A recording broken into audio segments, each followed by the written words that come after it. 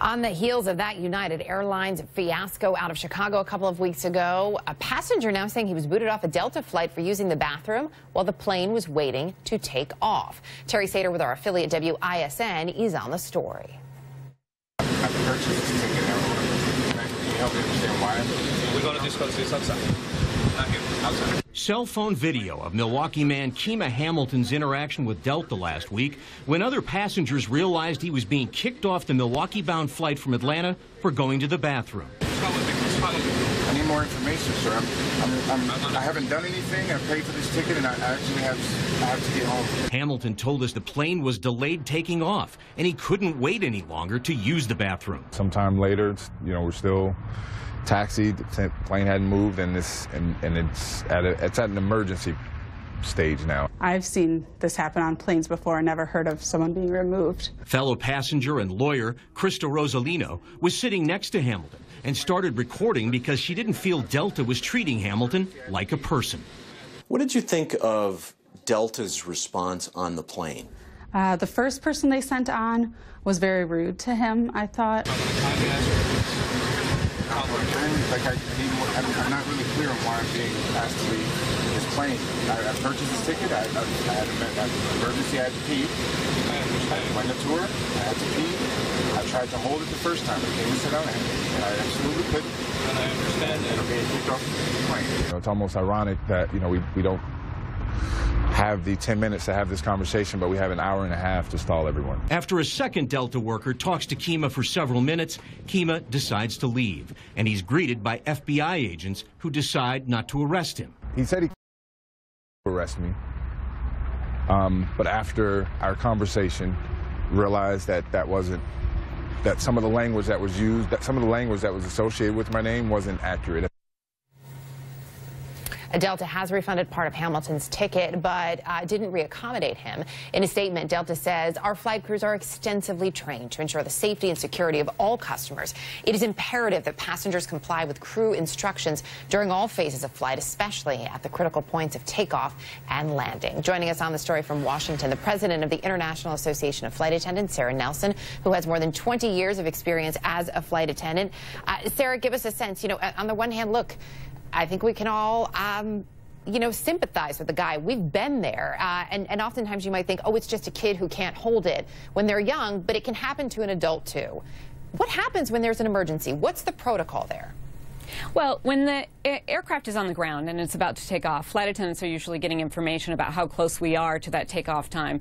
And you get a takeoff slot and you've got to hit that slot time. Of course, the airline is very interested in getting the flight off on time, not having passengers inconvenienced, and not having that plane be delayed for the next flight uh, at the destination that it's going to. So uh, the flight attendants uh, have are trained in safety procedures and safety instructions, and they would be advising the passengers to stay seated with their seatbelts uh, buckled. It's a little difficult to pass judgment on this particular incident since we weren't there and didn't see uh, um, all of the events uh, uh, transpire. But um, the passengers really need to stay in their seats with their seatbelts fastened, especially as the plane is about to take off. That's a critical phase of flight where the passenger could fall on someone else, they could hurt themselves, um, and we've seen it happen. And so those regulations are in place for a reason. You know, there's regulations in modes of transportation. So if you're driving a car, you have to drive on the right side of the road, you have to follow the stop sign, um, you have to get a license in order to drive. And flight attendants are certified safety professionals have a license to fly, but those flight attendants are certified in order to enforce those safety regulations that are in place to keep people safe. And I think most people get that. They get they get that flight attendants are doing their job, and it is a difficult job, and, and probably one that's thankless a lot these days. I will give you that. But when there is an emergency like this, I mean, I have flown a lot in my life, not as much as you, but a good amount. And on more than one flight, we have been stuck waiting on the tarmac, either on the way out or on the way in. And I've seen someone call the flight attendant over and say it's really an emergency. And I have seen it happen in cases where they've said, okay, you can get up and use the restroom.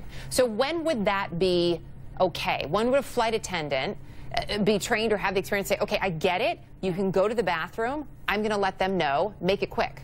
Yeah. So the flight attendants are required with enforcing the safety regulations, but we're also in the business of managing people. And we recognize that there are going to be people who have an emergency, who have um, an, a physical need, and uh, we are going to check to make sure that they're going to be safe if they're going to get up. So it's difficult to say what happened there, what all the facts were in that scenario, but flight attendants do this on a daily basis where we enforce the safety procedures, but we're not necessarily cut and dry because we're dealing with people all the time. And we may get more information. We're going to check with the uh, flight deck to make sure that it's safe for someone mm -hmm. to mm-hmm. get up. But we will make an exception uh, when we're able to do that and when we're able to do it safely. Sara Nelson, good to have you with us. Thank you. Thank you. Uh, as promised by United Airlines, this morning the company announced 10 policy changes to prevent another customer disaster like the one we talked about extensively from earlier in the month. Uh, tough to forget the viral videos showing a United passenger being forcibly dragged off the plane by aviation officers after he refused to give up his seat to accommodate crew members. United CEO Oscar Munoz telling NBC's Today Show the April 9th incident in Chicago taught him their policies were too strict and left little room for common sense. Our policies and procedures put those folks involved that day in impossible situations. They're dated and they're built on a structure of discipline and rigor in running an operation. Some of the most significant changes announced. United is now upping the incentive to get you to voluntarily give up your seat to $10,000. Not in every case, of course, but they can go as high as $10,000. Also, once you are in your seat, you will not be asked to give it up unless it is for safety or security reasons. Also, uh, United saying they won't call officers on board to remove a passenger unless, again, it is for reasons of safety or security. The airline is also cutting back on overbooking flights. Again, just a reminder, this was not a case of overbooking on the flight out of Chicago to Louisville. Uh, and also, traveling crew must be booked an hour before departure. In a statement, the attorney for Dr. David Dao, the passenger who was forcefully, forcefully removed a few weeks back, says, quote, Dr. Dao applauds United for promptly addressing the many issues that have plagued passenger satisfaction in the arena of airline customer service and hopes United takes the lead in inspiring the entire airline industry.